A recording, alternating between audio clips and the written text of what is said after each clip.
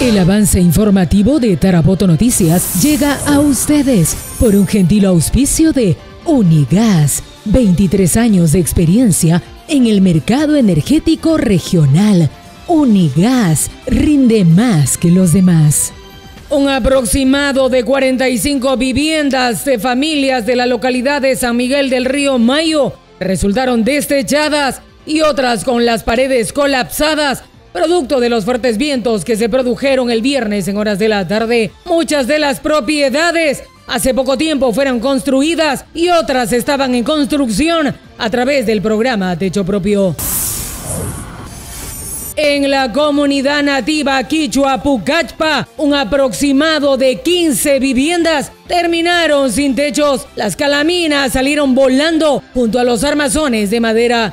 Los pobladores hicieron olla común para poder sostenerse hasta que llegue la ayuda.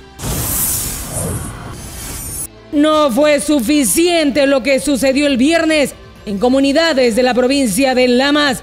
Ayer domingo, fuertes vientos y copiosa lluvia también afectaron viviendas en la localidad de Chatoja, provincia del Dorado. El avance informativo de Tarapoto Noticias llegó a ustedes por un gentil auspicio de Unigas, con los más altos estándares de calidad. Unigas rinde más que los demás.